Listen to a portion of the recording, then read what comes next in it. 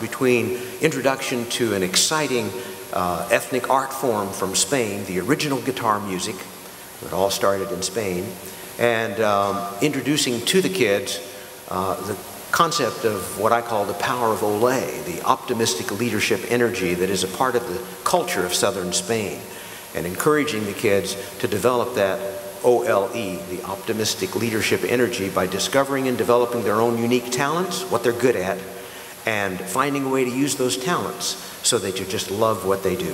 Hey, even my guitar speaks Spanish. Yeah, did you notice? Well, you know, guitars can't talk by themselves. You have to, somebody has to help it talk. And when you speak Spanish on the guitar, that is called flamenco. Everybody say flamenco. Flamenco. flamenco. I want you to notice, kids, the word is not flamingo. Okay. A flamingo is a big pink bird you find out at the zoo, you know, stands on one foot. Everybody look up here.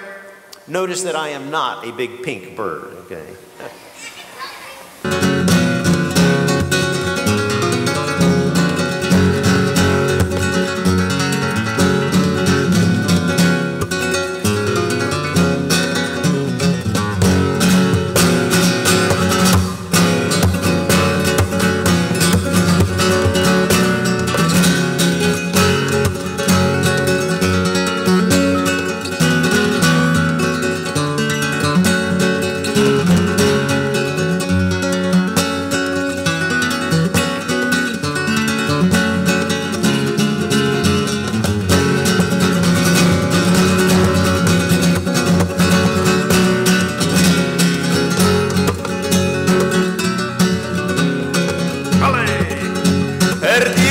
Qué triste sería el sol. Veo que osadilla con mucho más resplandor.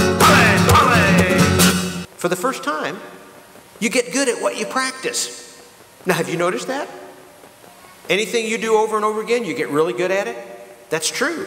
It's always going on. You're always practicing something. Here we go. That's a little slow. Try it again. Oh, that's much better. Oh, that's getting real good.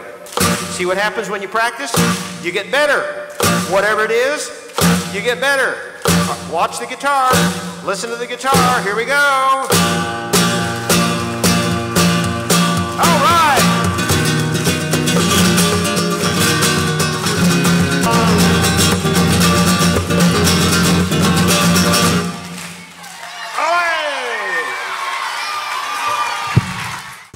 Kind of inspirational. It kind of made me imagine a bit. it made me want to play my electric guitar on the summer a few hours a day.